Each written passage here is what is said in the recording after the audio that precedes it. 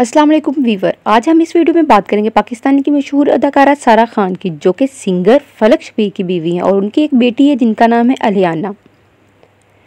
उन्होंने बहुत से ड्रामे किए हैं, जैसे कि रक्स बिस्मिल, हम तुम, मुमकिन बात और भी बहुत सारे ड्रामों में आप लोगों को अदाकारी करते हुए नज़र आ रही होंगी। हाल ही में मीट एंड ग्रीट सेशन में सारा खान, कुबरा खान, आयजा खान, ये तीनों मशहूर अदाकार ने इंटरव्यू दिया। और जिसमें सबने अपने अपने टीम मेंबर्स एक्टर के बारे में बताया। जिसमें से सारा खान ने बिलाल अब्बास के बिहेवियर और उनकी हैबिट के बारे में बताया। उन्होंने कहा कि वो बहुत ज़्यादा टैलेंटेड एक्टर है। क्योंकि मैंने उनके साथ अब्दुल्लापुर के देवदास में काम किया है। उन्होंने कहा वो बहुत ज़्यादा फूडी हैं। उनको हर वक्त खाना पसंद है। वो अच्छी खुराक खाते हैं। इवन के शूटिंग के वक्त भी उनको खाना बहुत ज़्यादा नीडी था। उनके साथ काम करके मुझे बहुत ज़्यादा अच्छा लगा। उनकी ये बात अच्छी लगी कि वो अपने काम में किसी भी किस्म का कंप्रोमाइज़ नहीं करते हैं।